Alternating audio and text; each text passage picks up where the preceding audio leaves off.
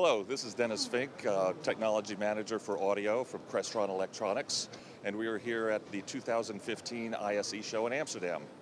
I'd like to show you our new amplifier product called the C2N AMP 6X100. Uh, this is the 6X100.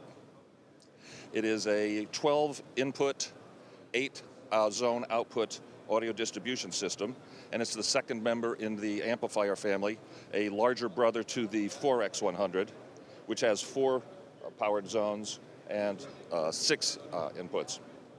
If we take a look at the rear panel of the 6X100, we can see the uh, 12 stereo inputs, the six stereo power amplifier outputs, and a couple new features in this family.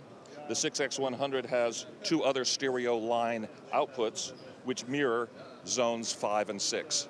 They are useful for perhaps going to a powered sub, and they would track the outputs of 5 and 6 that would go to the uh, full range speakers uh, that would be part of that system. There are also another feature here compared with the 4X100, and that is another two line outs that are essentially non-powered uh, zone outputs.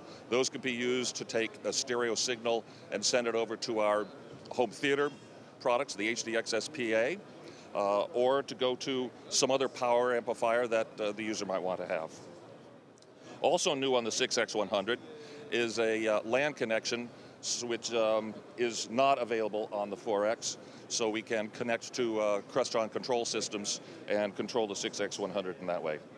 Uh, it has the family features of the 4X100, that is from the front panel, we can select sources and assign those to any of the six powered outputs, or and to the uh, two line outputs that were shown here on the uh, rear panel. Uh, it also shares the same features of the family, and that is that for expansion, we can take uh, shielded cable and connect to a second 6X100, thereby getting the same inputs to each unit and increasing the number of zones in a residential installation. There can be four of these paralleled together for a total of 24 zones and a total of 2,400 watts uh, for the system.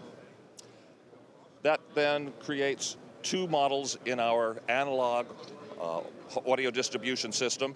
And then for the larger jobs, of course, we can move on up to the Sonnex system, uh, which we've had in the line for a couple of years now.